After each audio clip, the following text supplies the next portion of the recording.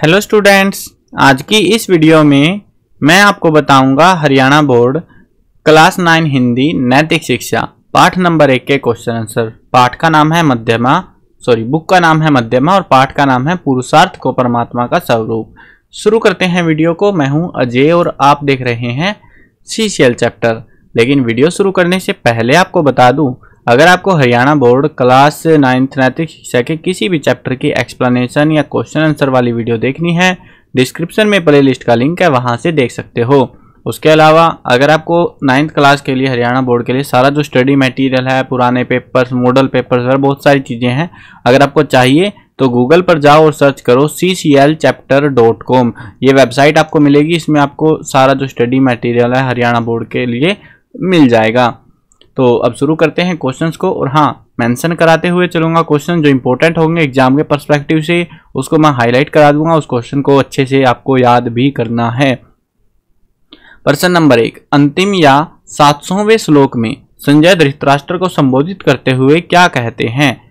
अंतिम या सात सौवें श्लोक में धृतराष्ट्र को संबोधित करते हुए संजय कहते हैं कि, हे राजन, यहाँ योगेश्वर भगवान श्री कृष्ण है और जहाँ गांडीवधारी अर्जुन है, वहीं पर विजय श्री और विभूति का होना निश्चित है। यही अचल नीति है और यही मेरा मानना भी है, यही मेरा मत है।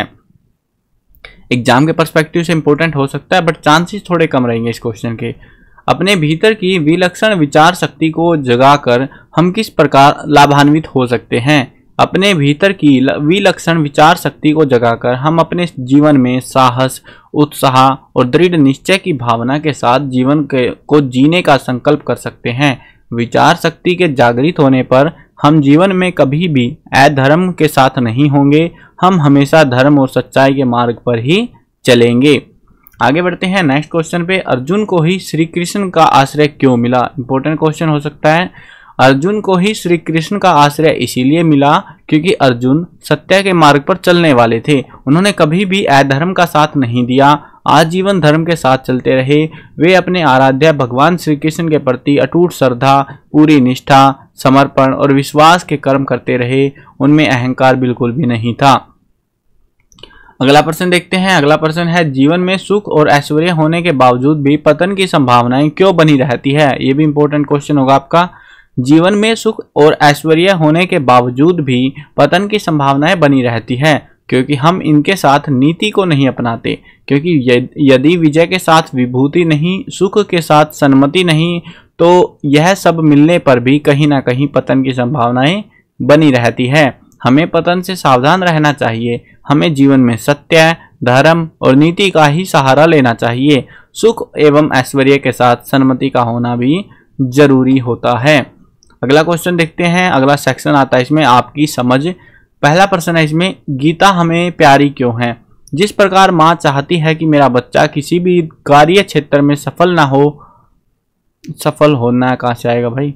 सॉरी असफल, ठीक है ठीक है। असफल ना हो और वह हर क्षेत्र में ऊंचाइयों की ओर अग्रसर होता रहे, उसी प्रकार गीता चाहती है कि मेरे उपदेशों का अनुसरण करने वाला मेरा प्यारा बच्चा जीवन में कामयाब हो, जीवन में कभी भी उनका पतन ना हो, इसीलिए गीता हमें प्यारी है। यदि विद्यार्थी जीवन में जागरूकता आ जाए तो आप किस प्रकार लाभान्वित हो सकते हैं? यदि विद्यार्थी जीवन में जागरूकता आ जाए तो विद्यार्थी अपने अपने पठनीय विषय जो पढ़ते हैं जिनको तो उनका पूरी निष्ठा तन्मयता और ईमानदारी से अध्ययन करेंगे, जिससे उन्हें असफलता सॉरी जिससे उन्हें सफलता अवश्य मिलेगी, क्योंकि जहाँ जागरूकता होती है, वहीं अपने अपने कार्यों को कुशलता के साथ करने का उत्साह और अमंग भी होता है। अतः जागरूकता से हमें अपने जीवन में हर क्षेत्र से में कुशलता प्राप्त कर सकते हैं। हम हर क्षेत्र में जो है सफल हो सकते हैं। जागरूक अगर हम होंगे तो। तो ये थे आपके क्वेश्चन आंसर आई होप आपको क्लियर हो गए होंगे. बाकी चैप्टर्स की वीडियोस देखने के लिए डिस्क्रिप्शन या फिर एंड स्क्रीन में आपको प्लेलिस्ट का लिंक मिल जाएगा. वहाँ से वीडियोस देख सकते हो. और अगर चैनल पर नए हो सब्सक्राइब भी कर लेना. मिलते हैं नई वीडियो में. Bye bye